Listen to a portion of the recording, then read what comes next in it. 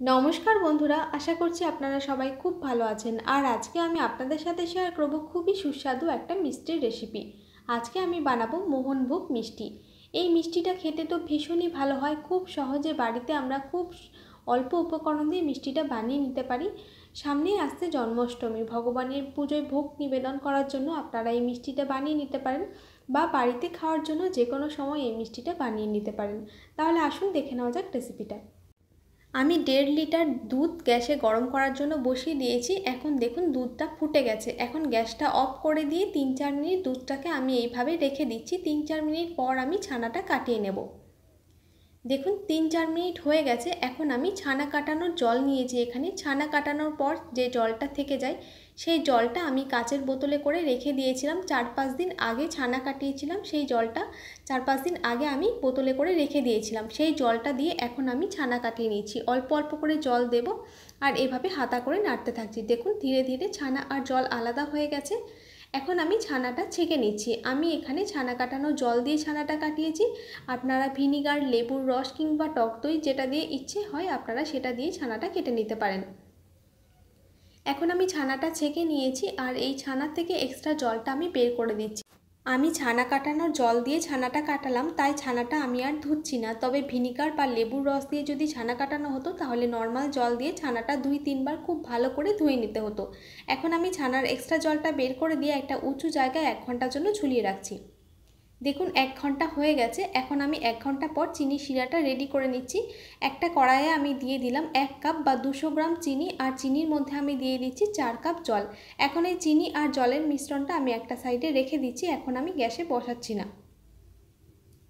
এখন আমি ছানাটা নিয়ে নিয়েছি এক ঘণ্টা ভালো করে ঝুলিয়ে রাখার ফলে ছানাটা থেকে এক্সট্রা যে জলটা সেটা বেরিয়ে গেছে, এখন আমি ছানাটা এই দলাটাকে এইভাবে করে প্রথমে ভেঙে নিচ্ছি। দেখুন, আমি ছানার দলাটা খুব ভালো করে ভেঙে নিয়েছি। এখন আমি ছানাটা হাতের এই জায়গাটা দিয়ে আমি খুব ভালো করে মেখে নিচ্ছি। খুব বেশিক্ষণ ধরে মাখার কিন্তু প্রয়োজন নেই, কারণ আমাদের ছানাটা দেখুন বেশ সফট। একদম সফট ছানা তৈরি হয়েছে, তাই খুব বেশিক্ষণ ধরে মাখার প্রয়োজন নেই। দেখুন, ছানাটা কিন্তু ভীষণই সফট তৈরি হয়েছে। এখন ছানাটাকে আমি দু মিনিট একটু মেখে নিচ্ছি এভাবে। দেখুন, ছানাটা দু মিনিট মেখে নিয়েছি, এখন এর মধ্যে দিয়ে দিলাম এক চা চামচ কর্নফ্লাওয়ার। আপনারা কর্নফ্লাওয়ারের পরিবর্তে এক চা চামচ অ্যারারুট বা এক চা চামচ ময়দাও দিয়ে দিতে পারেন। এখন কর্নফ্লাওয়ারটা দিয়েও আমি একটু মেখে নিচ্ছি। আমি পাঁচ মিনিট সময় নিয়ে ছানাটাকে মেখে নিয়েছি, এখন ছানা থেকে আমি ছোট ছোট করে লেচি কেটে নিচ্ছি। আপনারা মিষ্টিগুলো যেরকম ছোট বা বড় যে যেরকম সাইজের বানাতে চাইছেন সেই রকম সাইজের আপনারা লেচিগুলো কেটে নেবেন। দেখুন, সমস্ত লেচিগুলো কেটে নেওয়া হয়ে গেছে। এখন আমি চিনি আর জল যেটা রেডি করে রেখেছিলাম, সেটা এখন আমি গ্যাসে বসিয়ে দিলাম। এখন আমি মিষ্টিগুলো বানিয়ে নেব। একটা একটা করে ছানা থেকে লেচি নিয়ে এভাবে প্রথমে গোল করে নিচ্ছি। তারপর এভাবে এই মিষ্টিটার মধ্যে একটা আঙুল দিয়ে এভাবে করে ছিদ্র করে নিচ্ছি। এইভাবে সব মিষ্টিগুলো বানিয়ে নেব। দেখুন, মিষ্টির মধ্যে যদি কোনো ফাটা থেকে যায় এই সময়, তাহলে বুঝতে হবে যে ছানাটাকে আর একটু মেখে নিতে হবে। তাই মিষ্টি থেকে লেচি কাটার আগে একটা মিষ্টি এভাবে বানিয়ে দেখে নেবেন যে মিষ্টিটা ফেটে যাচ্ছে কি না দেখুন, মিষ্টিটা কিন্তু ফেটে যাচ্ছে না, ভালো মতো তৈরি হয়েছে। এখন আমি এই একইভাবে সব মিষ্টিগুলো বানিয়ে নিচ্ছি। দেখুন মিষ্টি শিরাটা ফুটে গেছে। এখন একটা মিষ্টি দিয়ে আমি চেক করে নিয়েছিলাম প্রথমে যে মিষ্টিগুলো ফেটে যাচ্ছে কি না দেখুন ছোট একটা মিষ্টি প্রথমে আমি দিয়েছিলাম। তারপর একটু ফুটিয়ে নিয়েছিলাম। মিষ্টিটা ফেটে যাচ্ছে না। তো আমি একটা একটা করে সব মিষ্টিগুলো দিয়ে দিচ্ছি। আর গ্যাসের ফ্লেমটা এখন একদম হাইতে আছে। আর মিষ্টিগুলো একটা একটা করে এভাবে দিয়ে দিতে হবে। দেখুন আমি সব মিষ্টিগুলো দিয়ে দিয়েছি। এখন আমি কড়াইটা ঢাকটা দিয়ে হাই ফ্লেমে পাঁচ মিনিট প্রথমে আমি ফুটিয়ে নিচ্ছি। দেখুন, পাঁচ মিনিট পর মিষ্টিগুলো বেশ বড় বড় হয়ে গেছে। এইভাবে কড়াইটা ধরে আমি একটু নাড়িয়ে দিলাম। আর এখানে আমার কড়াইটা বেশ ছোট হয়ে গেছে। আপনারা যে বাসনটাতে মিষ্টিগুলো ফোটাবেন, সেই বাসনটা একটু বড় নিলে মিষ্টিগুলো বানাতে সুবিধা হবে। আমার এখানে বাসনটা বেশ ছোট হয়ে গেছে। আমি আবারও পাঁচ মিনিট ঢাকা দিয়ে হাই ফ্লেমে মিষ্টিগুলো ফুটিয়ে নিচ্ছি। দেখুন, এভাবে ঢাকা দিয়ে ফোটানোর ফলে মিষ্টি থেকে ঝাঁক উৎপন্ন হচ্ছে, তাতে করে মিষ্টিগুলো শিরার মধ্যে ঢেকে থাকবে আর ভালো মতো সেদ্ধ হবে। দেখুন, আমি আরও পাঁচ মিনিট ফুটিয়ে নিয়েছি মানে আমি এখন অবধি আমি দশ মিনিট ফোটালাম, তারপর আমি হাফ কাপ মতো একটু নর্মাল জল দিয়ে দিলাম। আপনাদের যদি চিনি শিরা কমে না যায়, তাহলে জল দেওয়ার দরকার নেই, যদি চিনি শিরাটা মনে হয় একটু কমে গেছে, তাহলে এভাবে করে একটু জল দিয়ে দেবেন। তারপর আমি আরও পাঁচ মিনিট এভাবে হাই ফ্লেমে ঢাকা দিয়ে ফুটিয়ে নিচ্ছি। দেখুন, আমি আরও পাঁচ মিনিট ফুটিয়ে নিয়েছি। টোটাল আমি পনেরো মিনিট মিষ্টিগুলোকে এভাবে করে হাই ফ্লেমে ঢাকনা দিয়ে ফুটিয়ে নিয়েছি। এখন মিষ্টিগুলো আমাদের তৈরি হয়ে গেছে। এখন গ্যাসের ফ্লেমটা বন্ধ করে দিয়ে ঢাকা দিয়ে আমি মিষ্টিগুলোকে ঠান্ডা করে নেব প্রথমে। তারপর আমি এদিকে মিষ্টিগুলো ঠান্ডা হতে হতে আমি রাবড়িটা বানিয়ে নেব। এখানে আমি চারশো এমএল দুধ নিয়েছিলাম। দুধটাকে ফুটিয়ে আমি কিছুটা কমিয়ে নিয়েছি। এখন আমি দিয়ে দিলাম স্বাদ মতো চিনি। এখন চিনিটা দুধের সাথে দিয়ে আরও কিছুক্ষণ আমি ফুটিয়ে নিচ্ছি। এখন আমি দুধের মধ্যে দিয়ে দিচ্ছি এলাচ। থেতো করে নিয়ে দিয়ে দিলাম একটা সুন্দর ফ্লেভারের জন্য। এখন এলাচটা দিয়েও আমি দুধটাকে আরও একটু কিছুক্ষণ ফুটিয়ে নিচ্ছি।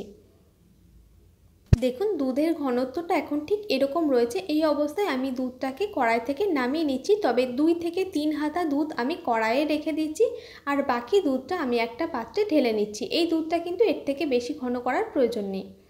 এখন আমি দুই তিন হাতা দুধ কড়াইয়ে রেখে দিয়েছি আর তার মধ্যে আমি এক পিঞ্চ মতো দিয়ে দিলাম কেশর। এখন এই দুধটাকে আমি আর একটু ঘন করে নিয়ে একটুখানি রাবড়ির মতো তৈরি করে নিচ্ছি। আপনারা কেশর যদি দিতে না চান তাহলে দেবেন না, এটা কিন্তু একদমই অপশনাল এখন এই দুধটাকে আমি আর একটু ঘন করে নিয়েছি দেখুন, আমি দুধটাকে একটু ফুটিয়ে এরকম একটু ঘন করে নিয়েছি। খুব ঘন কিন্তু করার দরকার নেই, কারণ এটা ঠান্ডা হলে আরও একটু ঘন হয়ে যাবে। এই রাবড়িটা কড়াই থেকে অন্য একটা পাত্রে নামিয়ে নিচ্ছি।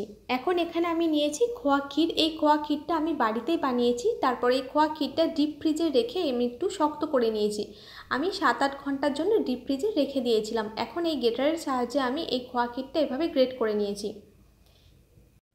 এখন মিষ্টিগুলো থেকে শিরাটা আমি হালকা হাতে প্রেস করে নিয়ে বের করে নিচ্ছি। তারপর যে রাবড়িটা আমরা একটু পাতলা করে বানিয়েছিলাম, সেই রাবড়িটার মধ্যে মিষ্টিটাকে চুবিয়ে নিয়ে এইভাবে খোয়া ক্ষীরের মধ্যে এভাবে সাইডগুলোতে আমি কোট করে নিচ্ছি। আমি সব মিষ্টিগুলো দিয়ে এভাবে করে মোহনভোগ মিষ্টি বানাবো না, অর্ধেক মিষ্টি আমি এই রাবড়িটার মধ্যে দিয়ে আমি রসমালাই বানিয়ে নেব। আপনারা যদি সব মিষ্টিগুলো দিয়ে এভাবে মোহনভোগ মিষ্টি বানাতে চান, তাহলে কিন্তু আপনারা এই রাবড়িটার মধ্যে মিষ্টিগুলোকে কোট করে নিয়ে একটা প্লেটে দশ পনেরো মিনিটের জন্য তুলে রাখবেন। তারপর এই গ্রেট করা খোয়া ক্ষীরটার মধ্যে এভাবে কোট করবেন। তা না হলে কী হয়, এভাবে সরাসরি রাবড়ির থেকে তুলে নিয়ে খোয়া ক্ষীরের মধ্যে গ্রেট করলে খোয়া ক্ষীরটা কিন্তু লাস্টের দিকে একটু ভিজে ভিজে হয়ে যায়। এই রাবড়িটা যে পরে, রাবড়িটা যে মিষ্টির মধ্যে যে রাবড়িটা লেগে থাকে তাতে করে এই খোয়া ক্ষীরটা কিন্তু গ্রেট করা যে খোয়া ক্ষীরটা সেটা একটু ভিজে ভিজে হয়ে যায়, তখন আর এই মিষ্টিগুলো খোয়া ক্ষীরের মধ্যে ডিপ করা যায় না। তাই আপনারা যদি সব মিষ্টিগুলো এইভাবে করে আপনারা মোহনভোগ মিষ্টি বানাতে চান, যদি খোয়া ক্ষীরের মধ্যে এভাবে করে আপনারা কোট করতে চান, তাহলে আপনারা একটা প্লেটে অল্প অল্প করে খোয়া ক্ষীর নিয়ে এভাবে গ্রেট এভাবে আপনারা কোট করে নিতে পারেন বা আপনারা এই মালাইটার মধ্যে, রাবড়িটার মধ্যে সব মিষ্টিগুলো প্রথমে ডিপ করে নিয়ে একটা প্লেটে তুলে নিয়ে দশ পনেরো মিনিট রেখে দিয়ে তারপর এই গ্রেট করা খোয়া ক্ষীরটার মধ্যে আপনারা কোট করে নিতে পারেন। এইভাবে সরাসরি রাবড়ি থেকে তুলে যদি কোট করা হয়, তাহলে কিন্তু খোয়া ক্ষীরটা একটু পর কিন্তু কিছুক্ষণ কয়েকটা মিষ্টি বানানোর পর একটু ভিজে ভিজে হয়ে যায়, তখন আর ভালো গ্রেট করা যাবে না। তাহলে আপনারা আপনাদের সুবিধার মতো এই মিষ্টিগুলো বানিয়ে নেবেন। আর এই মিষ্টিগুলো খেতে কিন্তু ভীষণই ভালো হয়। আপনারা একবার এভাবে মিষ্টিগুলো বাড়িতে বানিয়ে দেখতে পারেন। খেতে কিন্তু ভীষণই ভালো হয়। দেখুন, আমি কয়েকটা মিষ্টি একটা প্লেটে তুলে নিয়েছি। এখন আমি এর মধ্যে যে দু তিন হাতা রাবড়ি যেটা আমরা ঘন করে বানিয়ে রেখেছিলাম, সেই রাবড়িটা এখন দেখুন ঠান্ডা হয়ে কিন্তু আরও অনেকটা ঘন হয়ে গেছে। এখন এই ছিদ্রগুলোর মধ্যে, মিষ্টির মধ্যে যে ছিদ্র করে রেখেছি, সেই ছিদ্রগুলোর মধ্যে এই এক চামচ করে আমি রাবড়ি দিয়ে দিচ্ছি। মানে এই ছিদ্রগুলোর মধ্যে যতটুকু রাবড়ি ধরবে, ততটুকু রাবড়ি এভাবে করে দিয়ে দিচ্ছি। আর এই মিষ্টিগুলো খেতে তো ভীষণই ভালো হয় বন্ধুরা, আপনারা একবার এইভাবে বাড়িতে বানিয়ে দেখতে পারেন, খেতে কিন্তু ভীষণই ভালো হয়। আর অল্প করে আমি এখানে পেস্তা কুচি দিয়ে দিচ্ছি, এটা সুন্দর একটা দেখতে সুন্দর লাগবে, তার জন্য দিলাম, এটা কিন্তু একেবারেই অপশনাল দেখুন, আমি এই প্লেটে আরও একটা মিষ্টি নিয়ে নিয়েছি। এখন এই মিষ্টি আমি আপনাদেরকে একটা কেটে দেখাচ্ছি। দেখুন বন্ধুরা, মিষ্টিগুলো যেমন দেখতে সুন্দর হয়েছে, খেতেও কিন্তু ঠিক তেমনই সুন্দর হয়েছে। তাহলে বন্ধুরা, আমার রেসিপিটা যদি আপনাদের ভালো লাগে, তাহলে আমার চ্যানেলটা সাবস্ক্রাইব করে আমার পাশে থাকার অনুরোধ রইল। তাহলে আজকে এই পর্যন্তই, আবার দেখা হবে অন্য কোনো রেসিপি নিয়ে অন্য কোনো দিন। সকলেই ভালো থাকুন, সুস্থ থাকুন। ধন্যবাদ।